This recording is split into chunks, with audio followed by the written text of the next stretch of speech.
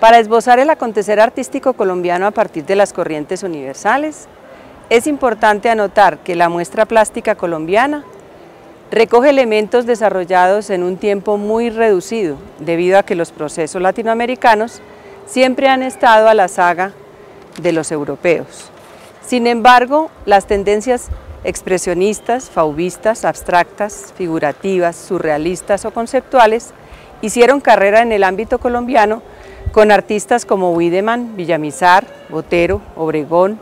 Negret, Roda, Grau, Rayo y muchos otros. En Colombia, a partir del grupo Bachué se conformó una conciencia autóctona y el planteamiento de interrogantes referidos a la flora, la fauna, la raza y la situación social.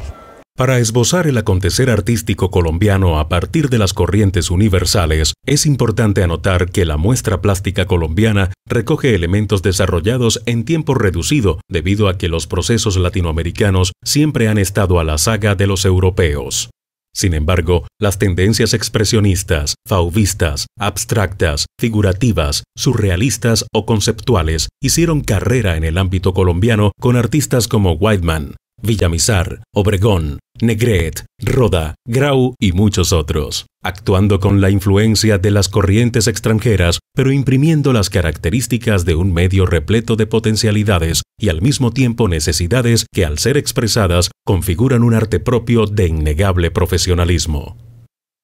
Los artistas colombianos tienen las experiencias de París o de Italia, de Braque, Picasso o el arte del Renacimiento en los casos de Ramírez Villamizar, Grau y Botero, y las lecciones barcelonesas de Antonio Clavé en el de Obregón. Whiteman, en cambio, tiene su experiencia alemana con un rigor y una seriedad definitivos, no ajenos a su carácter alemán y que contrastaban con los fuegos juveniles y la espontaneidad creativa, lindante con el desorden de algunos de los otros. La tarea del artista contemporáneo se convierte en una forma de filtrar y reelaborar críticamente la información en múltiples miradas contradictorias del mundo, que sirven como instrumento para generar reacciones y despertar conciencias.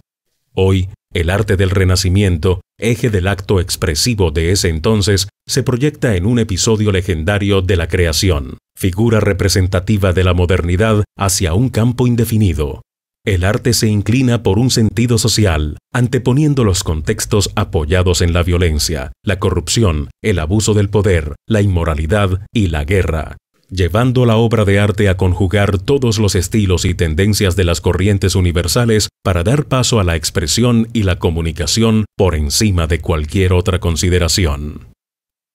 Es así como el abstraccionismo se fija en los comienzos del siglo XX con el artista Wassily Kandinsky, 1866-1944, y el francés Piet Mondrian, los cuales procesaron su trabajo antes de la Segunda Guerra Mundial, pero esta tendencia solo tuvo su influjo después de 1945. En el caso de Latinoamérica, el uruguayo Joaquín Torres García fue el precursor del arte abstracto, y en Colombia lo fue Marco Ospina, aunque los anteriores a él, los descubridores de esta tendencia en el país, no fueron colombianos, sino los alemanes Guillermo Weidmann y Leopoldo Richter.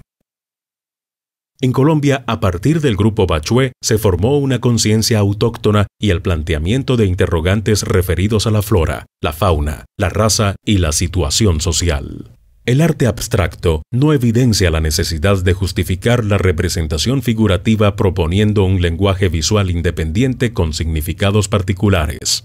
Es un juego intelectual en el que se visualizan elementos. De tales planteamientos emerge la influencia que se observa en el cubismo de Picasso, el neoplasticismo de Mondrian y la tendencia futurista. Después de una llegada tardía, el arte abstracto fue cultivado por tendencias geométricas que habían predominado antes de la Segunda Guerra Mundial. Ramírez Villamizar asimiló la abstracción geométrica en París, sede de esa tendencia. Marco Ospina, pintor muralista, vitralista y profesor de dibujo, se instala en una geometrización donde muy pocos elementos figurativos ocasionales aparecen en sus obras hasta 1951. Trabajó en la abstracción formatos grandes con colores vivos y figuras geométricas de cuadros, círculos y triángulos básicamente. Aunque realizó obras figurativas, las mejores son las que no tienen ninguna referencia de este estilo, logrando algunas realizaciones absolutas.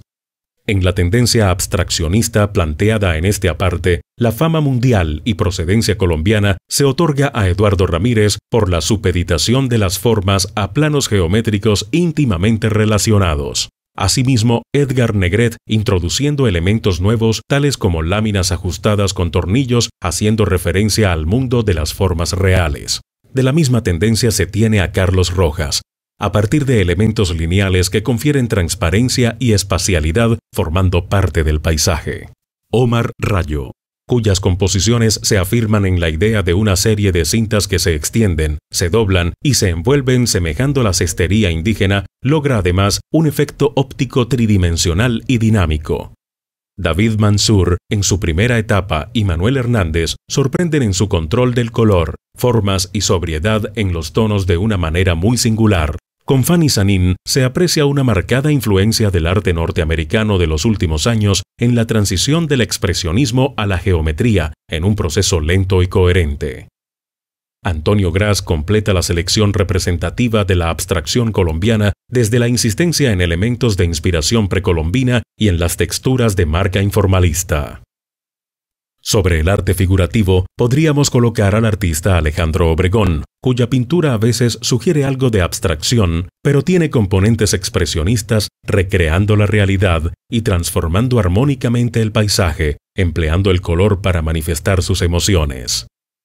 Es inevitable hablar también de la figuración colombiana del artista Fernando Botero, cuya voluptuosa obra pictórica y escultórica ha tocado ramas de la fama mundial, precisamente por esa característica. Asimismo, la representación de genios artísticos en el manejo particular de las formas, colores y técnicas artísticas nos lleva a nombrar a una exitosa cadena de agentes de arte como Lucy Tejada, Teresa Cuellar, Juan Antonio Roda, Juan Cárdenas, Alfonso Quijano, Augusto Rendón, Luis Caballero, Leonel Góngora, Jim Amaral, Carlos Granada, Pedro Alcántara Herrán y Enrique Grau, quienes han proporcionado fuerza interpretativa, singularidad en la composición, análisis político y denuncia social, manejo dominante del dibujo y de la conservación, a pesar de las influencias recibidas de una conciencia plena de identidad.